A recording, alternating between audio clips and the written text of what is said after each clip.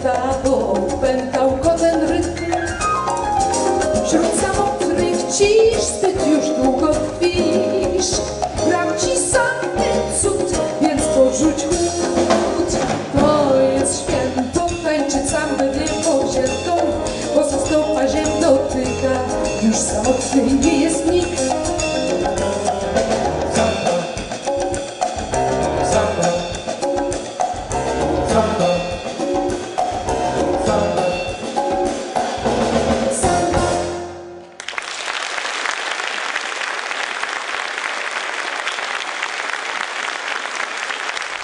wyjątkowa wykonawczyni, znakomita Hanna Banaszak, która była gościem pierwszej Nowochódzkiej Wiosny Muzycznej i teraz po 14 latach przyjechała i jak nam powiedziała, z wielką radością wystąpiła dla nowochódzkiej publiczności, dla krakowskiej publiczności na 15 Nowochódzkiej Wiośnie Muzycznej.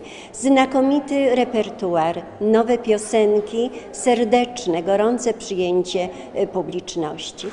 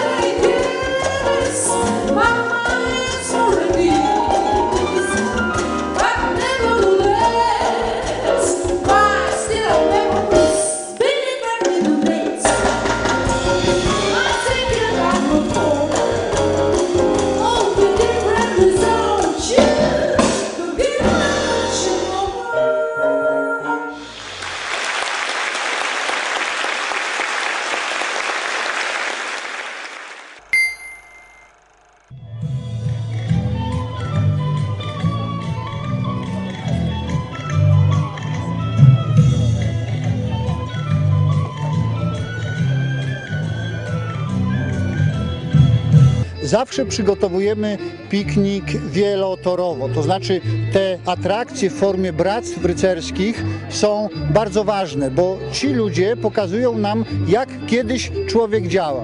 Natomiast my staramy się proponować jeszcze w atrakcyjnej formie wiedzę archeologiczną. To znaczy, można pracować na wykopie archeologicznym i znajdować różne rzeczy w ziemi, tak jak my to robimy. Można kosić sierpem z krzemiennymi wkładkami zboże, można orać sochą, e, można mielić zboże na żarnach. W tym roku nową rzeczą, którą przygotowaliśmy, to jest pokaz różnego rodzaju uzbrojenia, różnego rodzaju sztuk walki, szyków bojowych, ponieważ y, wpisujemy się tym samym w 600-lecie bitwy pod Grunwaldem.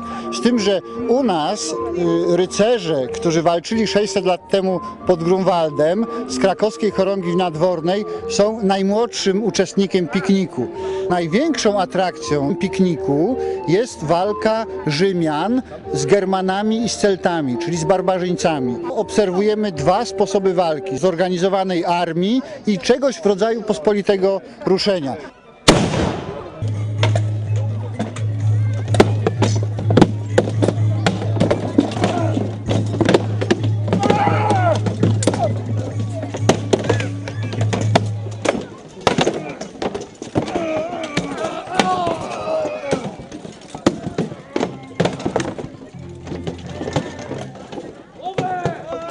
Wrócić z tarczą, to znaczy wrócić jako zwycięzca. Na tarczy wynoszono z pola bitwy zabitych. W związku z tym ktoś, kto jest wynoszony na tarczy, jest przegranym. To jest symbol porażki. Myślę, że wszyscy uczestnicy pikniku, którzy do nas tu przyszli, wrócą z tarczą do domu i przyjdą do nas za rok.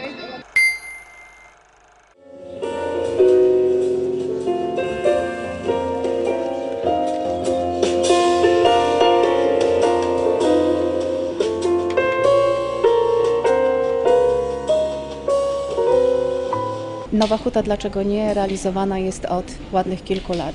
Natomiast chcemy tym koncertem nawiązać do 200. rocznicy urodzin Fryderyka Chopina i do roku Chopinowskiego. Stąd w programie znajdzie się muzyka Chopina w jazzowych interpretacjach.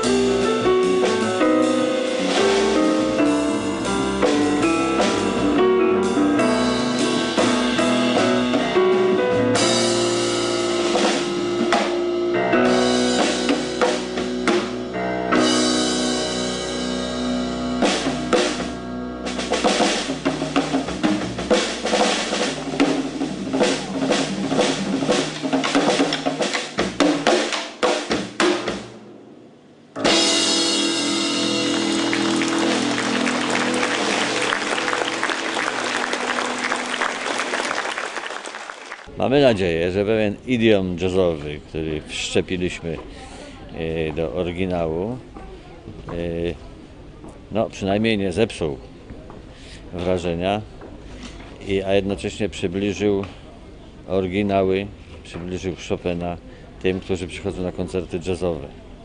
I być może odwrotnie.